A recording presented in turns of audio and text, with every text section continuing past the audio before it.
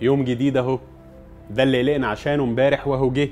كنا قلقانين منه هيجي بايه ويجيب لنا إيه وايه اللي هنعمله. وهي دي حكايتنا مع كل أيامنا في كل يوم.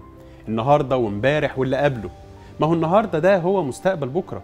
وهو هو كان مستقبل امبارح برضه. يعني قلقنا منه ما فاتش بحاجة في الماضي ولا ضمنه ولا فات بحاجة في المستقبل إلا لما نشتغل له ودي روشتتي ليك النهارده طبقها في كل يوم هتعيشه. ندمك على امبارح مش هيعوضه وقلقك من بكرة مش هيضمنه. لكن اجتهادك جدا في النهارده هينجحه. انشغالك بالحاضر الآن اليوم ده اللحظة دي هو ده اللي ليك وهو ده اللي كل شخص هيسمعنا ويشوفه وهيساعده. كل ما مر عليه ولو دقايق هو ماضي. ما تركزش فيه ولا تنشغل بيه ولا تسأل عنه ولا تحاول تعوضه.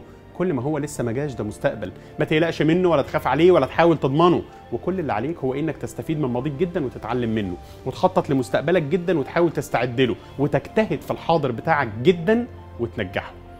هو ده اللي لازم تعمله. ومش هقول لك اللي تخاف منه مش هتلاقي أحسن منه. إنما هقول لك إن خوفك ده مهما كان من إيه هيعطلك. هيعطلك إنك تنجح فيه ويخليك تهمله.